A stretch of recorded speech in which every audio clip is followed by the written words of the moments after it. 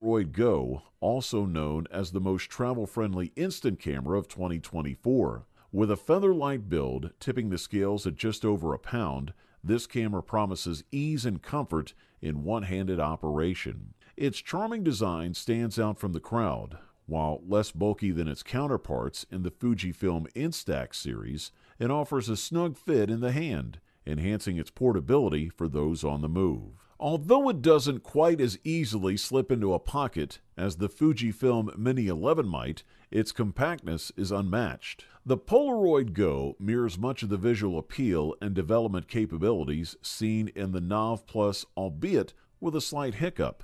It tends to produce somewhat darker images. Nevertheless, this camera shines under daylight, making it ideal for capturing selfies and group shots courtesy of its dependable self timer feature.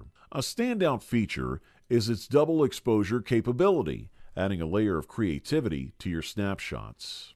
An added touch is the cute red wrist strap, transforming the Polaroid Go into the perfect travel buddy for any adventure. Despite its diminutive size, it doesn't skip on features, boasting a self timer, an adjustable flash, and even a double exposure mode for those looking to experiment with their photography. The viewfinder is cleverly designed with a reflective coating, doubling as a mirror for those selfie moments. While the Fujifilm Instax series may offer more bang for your buck when it comes to cost per photo, the Polaroid Go presents itself as the most wallet friendly option for those loyal to the Polaroid brand, making it an exciting choice for instant camera enthusiasts.